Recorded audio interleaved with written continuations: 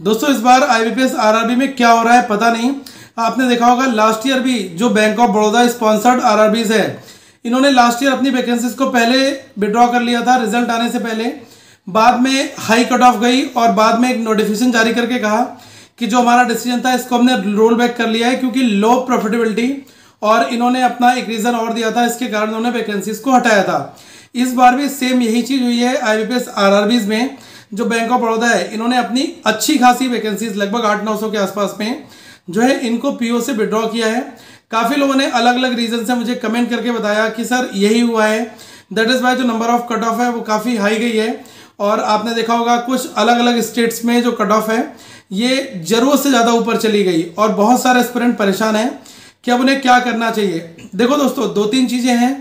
पहली चीज़ ये है कि आप आई को इंटीमेट करें। और IBPS से इसके बारे में क्लैरिफिकेशन मांगे। क्योंकि IBPS जो है, वही अलग अलग तरीके से जो एग्जामिनेशन है हर एक बैंक का इसको कंडक्ट करा रहा है ओके और जो आर वगैरह हैं, वो भी लिस्टेड इसी आई में है।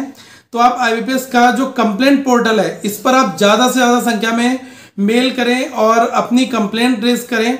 क्योंकि ये चीज़ें लास्ट ईयर भी हुई लास्ट ईयर काफ़ी लोग कोर्ट गए थे, उन्होंने जो है पीआईएल वगैरह डाला। उसके बाद पता नहीं क्या डिसीज़न हुआ, क्या नहीं हुआ, काफ़ी अपडेट नहीं मिल पाया।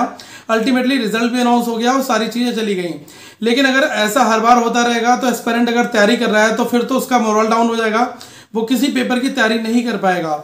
मैं यही रिकमेंड करूँगा कि आप लोग आई पर, जो इनका सीजीआरएस है, जो कंप्लेंट रिड्रेशल प्लेटफॉर्म है, इस पर आप अपनी कंप्लेंट रेस करें और अपने कंसर्न के बारे में इनको बताएँ।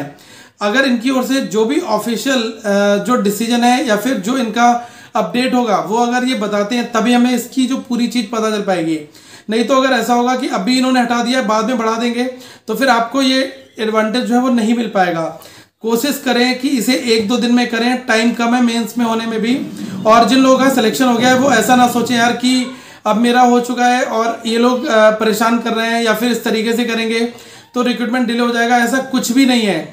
अगर आईबीपीएस कुछ गलत कर रहा है या फिर आईबीपीएस में कुछ गलत हो रहा है तो आप सभी को अपनी आवाज़ एटलीस्ट उठानी चाहिए और जो भी बातें हैं वो क्लेरिफाई होनी चाहिए।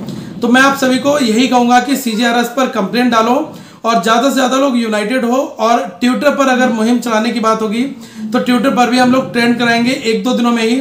अगला अपडेट में डालूँगा तो आप लोग प्लीज़ अपने सजेशन ज़रूर डालना कि हमें आगे क्या स्टेप लेना चाहिए, क्या आगे हम बेहतर कर सकते हैं, ताकि हम लोगों को थोड़ा सा अवेयर कर पाएँ, क्योंकि ये एक ऐसा कॉज है, इसके बारे में काफ़ी कम लोग बोलेंगे, बहुत सारे लोग बैठे रहेंगे, क्योंकि उनसे इन चीज़ों से कोई लेना देना नहीं होगा।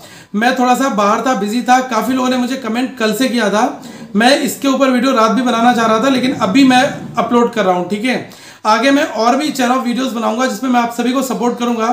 तो पहले इस वीडियो को आगे शेयर करना फॉरवर्ड करना, ताकि और लोग उस मुद्दे से समझ पाए कि क्या हुआ है? वैकेंसीज जो है वो कम हुई हैं।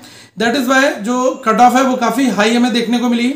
और अगर इसमें वैकेंसीज को बढ़ाया जाता है और एक दोबारा से जो रिज़ल्ट है अमेंड करके निकाला जाता है तो दोस्तों काफ़ी सारे कैंडिडेट्स होंगे जिनको आगे मौके मिलेंगे। और क्लेरिकल के साथ कोई अलग इधर इस तरीके की हरकत ना हो, इसके लिए हमें पहले से ही सजग रहना होगा और अवेयरनेस लोगों के बीच में बढ़ानी होगी। तो आप लोग क्या सजेशन देते हैं वो कमेंट सेक्शन में डालना सो so दैट मैं वीडियो बनाकर आप सभी को एक, जो कंसोलिडेटेड गाइडेंस है वो दोस्तों प्रोवाइड करूँगा। तो आप मेरे साथ बने रहें और इस चैनल को भी सब्सक्राइब करें ताकि आपके पास हर एक अपडेट भी आता रहे। और अपने इंपॉर्टेंट कमेंट्स इस वीडियो के डिस्क्रिप्शन में कमेंट सेक्शन में ज़रूर दें जिससे और भी लोगों तक अपनी बात पहुँच पाए।